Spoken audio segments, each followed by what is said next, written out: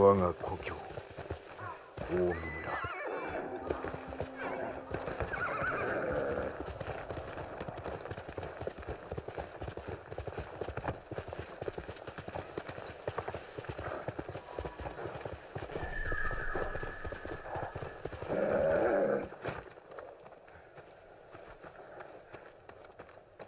猛虎はおらぬか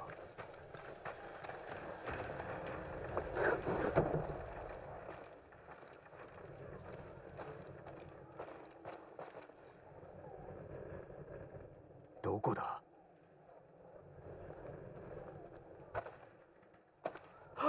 不届き者めあ若様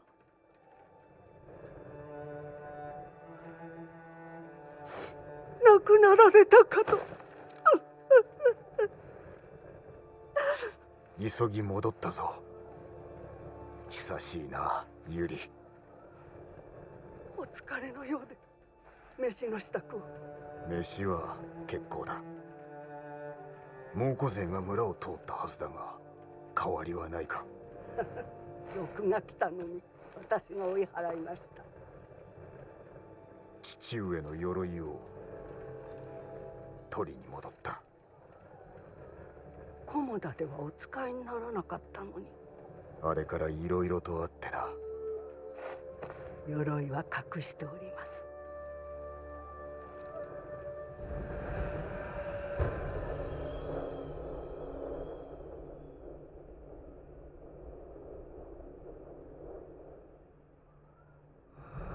さあこちらへ。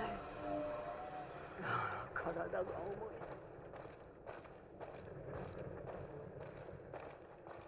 太一に取ってこさせましょう。墓地にいるはずです。そこで何を？土を鳴らし毒草の世話をさせています。毒は良いネズミよけになるのですよ。一人ではないのだな。志村様はご創建で。ああ猛虎に捕らえられていたがお救いいたした。ああどなたか他に手を貸す者は？おるぞ政子殿だ。まあ幼き頃から小野子と稽古していましたからね。いつか司祭を聞かせてくれ。政子様だけですか？他には石川先生も。もう何年もご沙汰しております。相変わらず尊大なお振る舞いなのですか？ああ未だにな。だが弓の腕は別格だ。ご本人もいろんないかと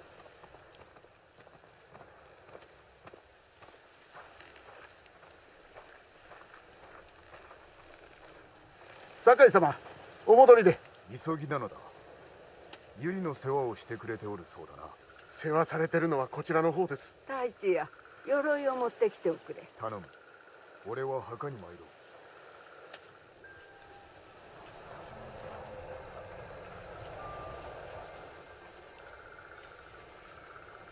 草むしりが住んでおらぬと。申し訳ありません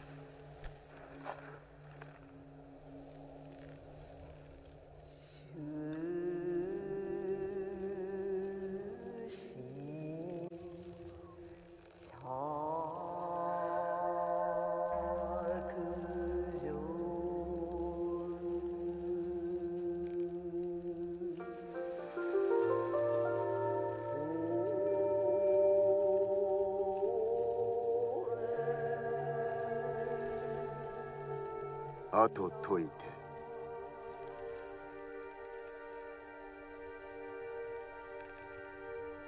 善を組みたるありし日の。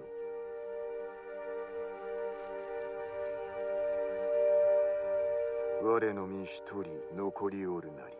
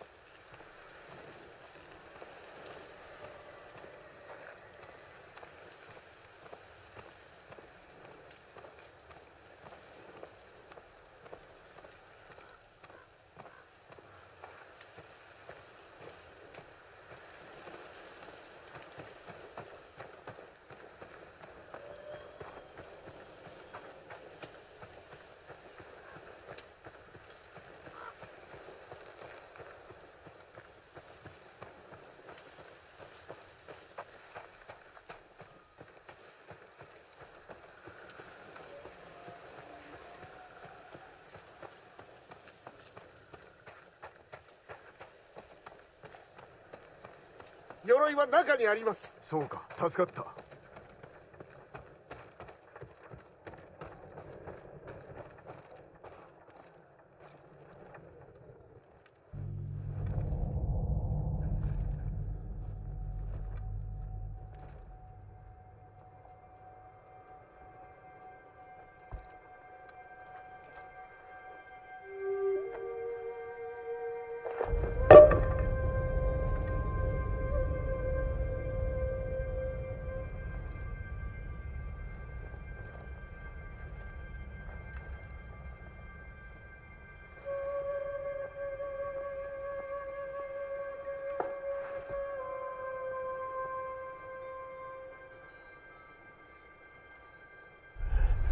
人手を貸さんか。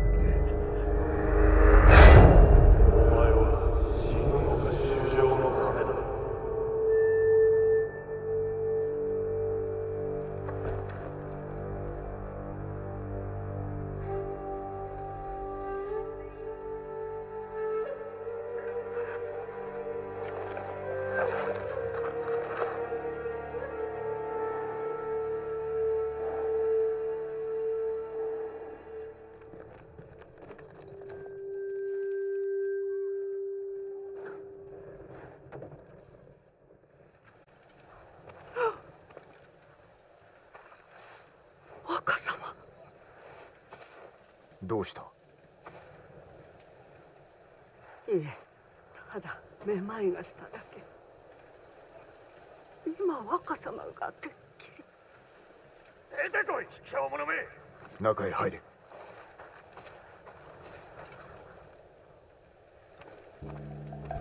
入る。妙な評価に気をつけろ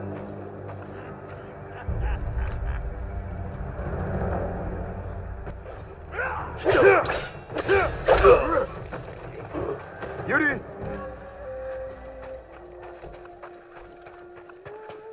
あ殿怪我はないか島の民よまた槍川が面倒なことに。槍川の反乱は二昔も前。あやつらは猛虎の手下だ。そうでしょうとも。あのような戦いぶり。まこと恐ろしい。はあ休ませてください。湖の木へ参ろええ。ぜひ。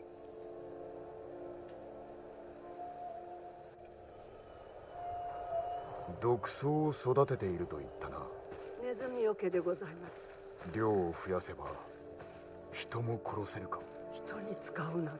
どうなのだ？強力な毒はひどいものです。うん。ああ殿。は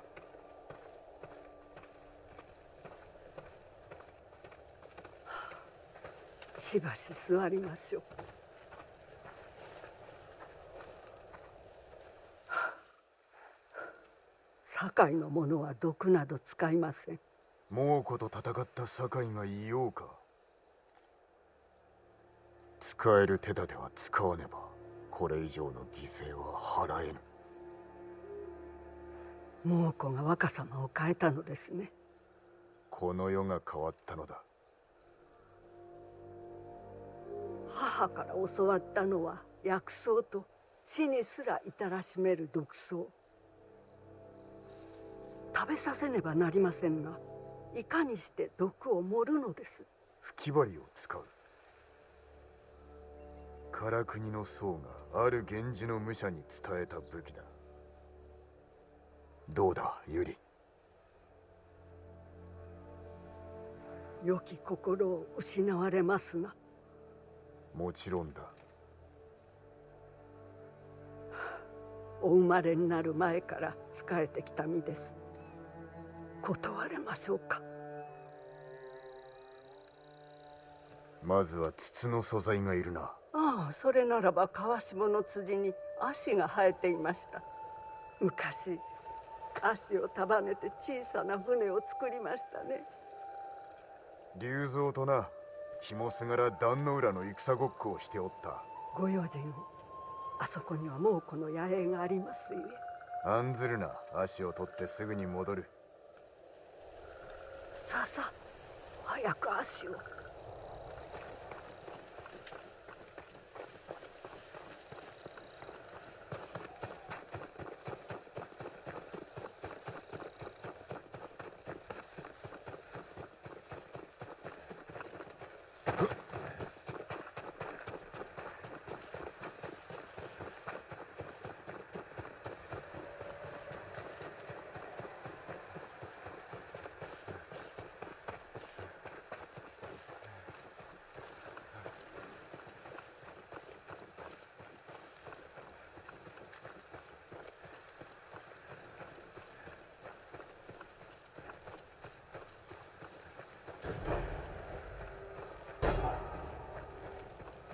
ユリの言う通り猛虎の先陣だ。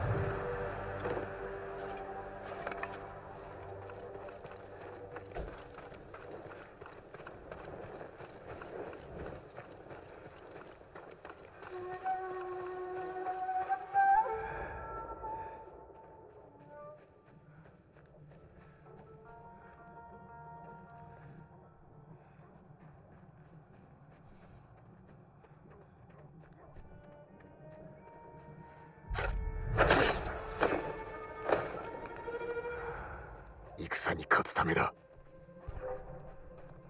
즉하로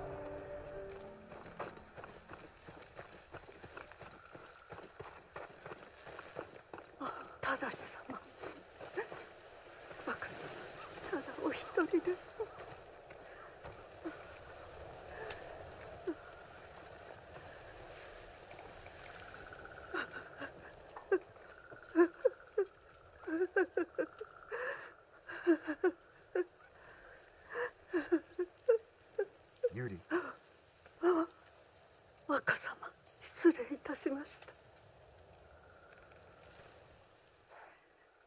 殿のことを思い出しておりました。俺は忘れたい。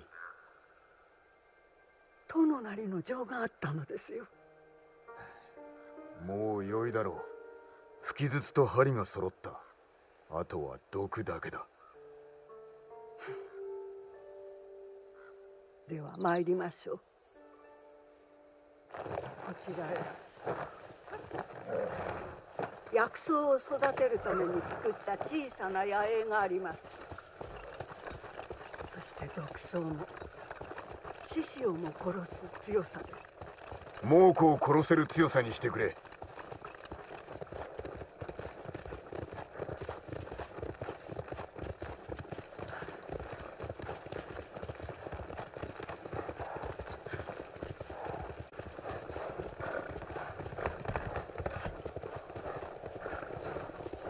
若様と遠出できるとは馬の乗り方を教えてくれたな。あの子馬で。若様は姿勢よく蔵にまたがって将軍様のようでした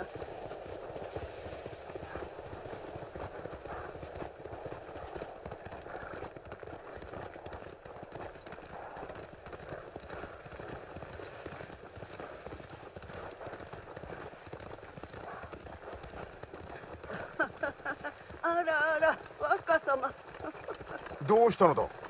若様はここで志村様を殺めかけたのですよ。何？確か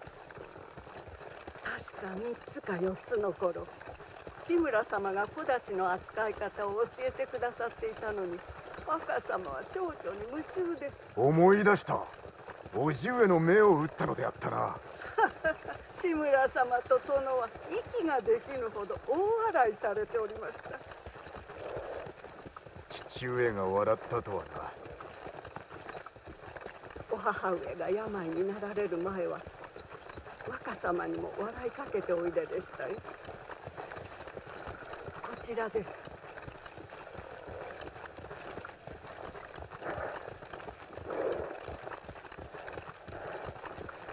御座と焚き火野宿するのか？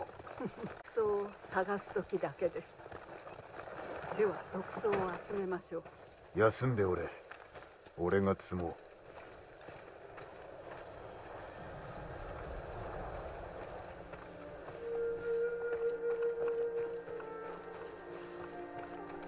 種は毒です。食べないで。子供扱いはするな。あら。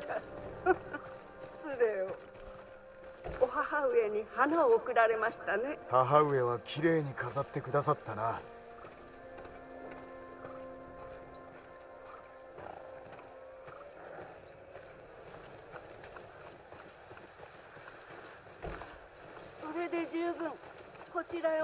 ださい。待たせたな。いいえ。まず種を抜き取り実を砕きのり状にしたら針を浸します。効き目は強いのか？納得いただけるか。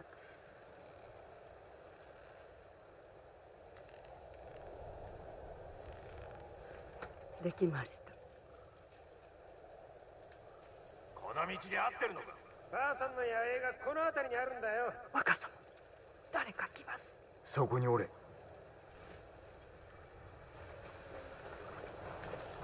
毒の効き目を確かめるか。あの侍わしらの仲間を殺し回ってる。あいつの首を取れば褒美をたんまりもらえるな。もう近いか。方角を調べてみる。このどこかだ。急げ。逃がすわけにはいかん。この近くにいるのか調べよう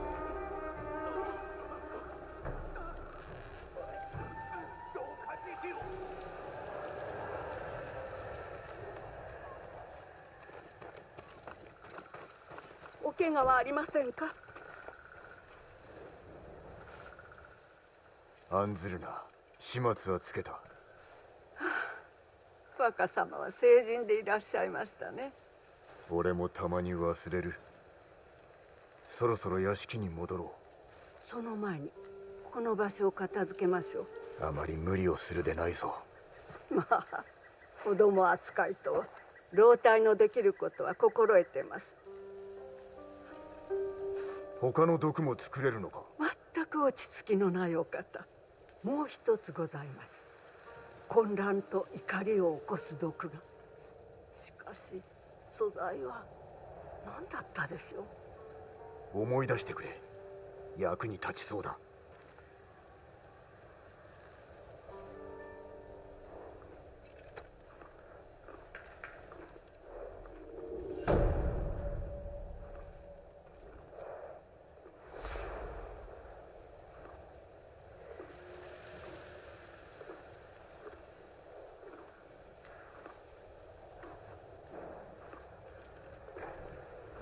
だったかしら？赤くて落ち葉？いえ花びらがあったはず。あお花だ。あ違う。思い出せない。あ母上がいらっしゃってくだされば。